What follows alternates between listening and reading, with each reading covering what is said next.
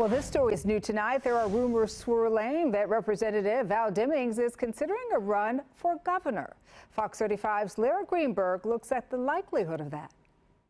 Political analysts say it was this moment this week when U.S. Representative Val Demings got into it with Ohio Congressman Jim Jordan. And the American people just said, I have the floor, Mr. Jordan. That generated buzz around the Congresswoman. And reminded people that she is a very strong candidate for a statewide office. Now, according to a report from Politico, Demings is considering running against Governor DeSantis or for Marco Rubio's Senate seat. Either of these positions she would be able to fill quite well. Demings, a former Orlando police chief, rose to national prominence last year as a House impeachment manager and as a possible running mate for Joe Biden.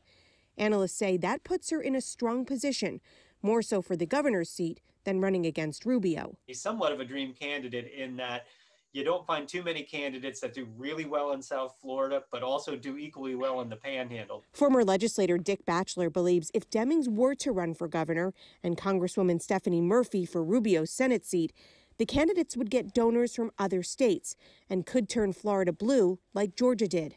Ultimately, trying to beat an incumbent is never easy, especially in a mostly red Florida.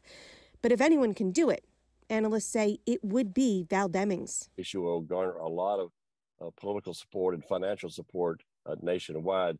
It would be a knockdown drag out. It's going to be a tough race. It'll be a tough race. Is she a great candidate to take on the incumbent governor? She is. Lyra Greenberg, Fox 35 News.